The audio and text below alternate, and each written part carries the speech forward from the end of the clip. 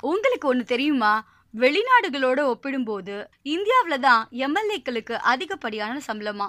அதுலயும் கடந்த பத்து ஆண்டுகளில் மட்டும் எம்எல்ஏக்களோட சம்பளம் ஆயிரத்தி நூறு பர்சன்டேஜ் வரைக்கும் உயர்ந்திருக்கிறதா அறிக்கைகள் தெரிவிக்குது. அப்படி எவ்வளோதான் சம்பளம் வாங்குறாங்க? யாரு தான் அதுல முதன்மை? வாங்க பார்க்கலாம். அதிக சம்பளம் பெறும் முதல்வர்களோட பட்டியல்ல தெலுங்கானா தாங்க முதலிடம். அட ஆமாங்க.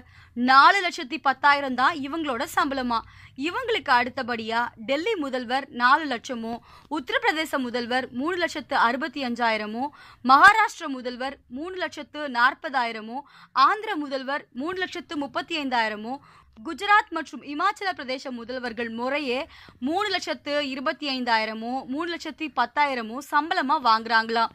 தமிழக முதல்வர் எடப்பாடி பழனிசாமி அவர்கள் ரெண்டு லட்சத்தி ஐந்தாயிரத்தை சம்பளமா வாங்குறாராம். கர்நாடகா கேரளா முதலமைச்சர்கள் முறையே ரெண்டு லட்சமும் ஒரு லட்சத்து எண்பதாயிரமும் வாங்குறாங்க.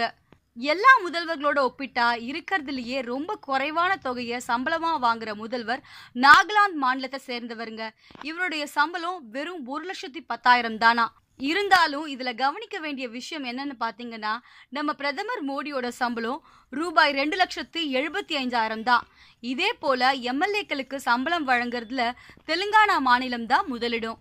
அதுவும் ரெண்டு லட்சத்தி ஐம்பதாயிரம் ரூபாய சம்பளமா வழங்குறாங்களாம். இதுவே கடைசி இடத்துல திரிபுரா மற்றும் மேகாலயா எம்எல்ஏக்களுக்கு வெறும் இருபதாயிரத்தை மட்டும்தான் சம்பளமா வழங்குறாங்களாம் தமிழகத்துல கொடுக்கப்படுற சம்பளம் எவ்வளோ தெரியுமா? ஒரு லட்சம் ரூபாய். தற்போதைய நிலையில ஒரு எம்எல்ஏவோட சராசரி சம்பளம் ஒரு லட்சம் ரூபாய். அதோட தினசரி படிகளும் உண்டா? அதாவது ஒரு எம்எல்ஏ சட்டமன்றத்தோட அமர்வுகள்லையோ அல்லது எந்த ஒரு அரசாங்க குழுவோட எந்த சந்திப்புக்கு வராரோ அந்த மன்றத்தோட எந்த ஒரு குழுவின் கூட்டங்கள்லையும் அரசாங்கத்தால் கூட்டப்படுற எந்த கூட்டத்தோட வருகைக்காகவும் ரூபாய் ஐநூறு நாள் ஒன்றுக்கு தரப்படுமா? ஒரு எம்எல்ஏ பாராளுமன்ற குழுவிற்கோ அல்லது வேறு ஏதேனும் தொழில் நிமித்தமாக மற்ற இடங்களுக்கு செல்லும்போது அதுக்காக தனியான சலுகைகளும் இருக்காம் அதுலயும் ரயிலின் மூலமா செல்லும்போது அவருக்கு கிலோமீட்டருக்கு பத்து பைசா விகிதத்துல தான் கட்டணம் இருக்குமா?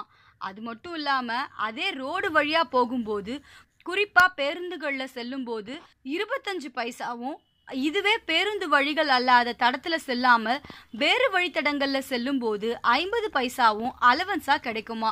ஒவ்வொரு எம்எல்ஏக்களுக்கும் உறுப்பினர் அடையாள அட்டை வழங்கப்படும். இந்த அடையாள அட்டையை பயன்படுத்தி தனியாகவோ அல்லது அவரோட பயணம் செய்யவோ ஒரு எம்எல்ஏவோட மனைவி அல்லது வேற எந்த ஒரு தோழரோடும் எந்த நேரத்திலையும் எந்த பகுதியிலையும் எந்த மாநிலத்திலையும் போக்குவரத்தின் போது பயன்படுத்திக்கலாமா?